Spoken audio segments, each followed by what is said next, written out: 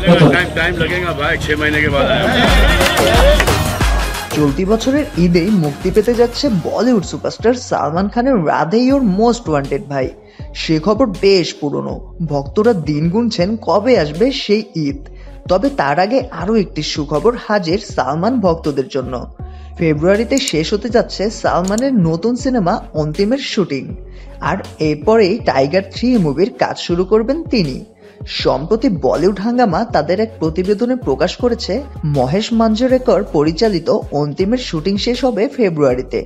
মুম্বাইতে বাকি অংশের শুটিং শেষেই সিনেমাটি চলে যাবে পোস্ট প্রোডাকশনের কাজে।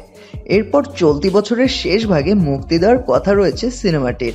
অন্তিম দ্য ফাইনাল ট্রুথ সিনেমাটি মারাঠি ফিল্ম মুলশি প্যাটার্নের উপর ভিত্তি করে নির্মিত হচ্ছে। সে প্রতিবেদনটিতে আরও বলা হয়, এই সিনেমার শুটিং শেষে এই বছরই মার্চের টাইগার থ্রির কাজ শুরু করবেন সালমান।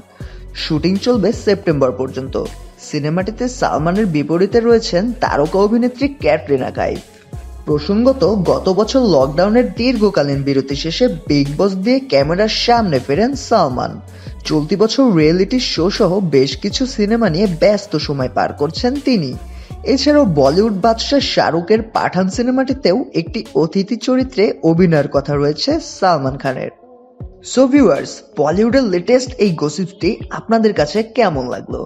তা অবশ্যই কমেন্টস করে জানিয়ে দিন এবং বিনোদন জগতের সর্বশেষ সংবাদ পেতে অবশ্যই আমাদের চ্যানেলটি সাবস্ক্রাইব করুন। ধন্যবাদ।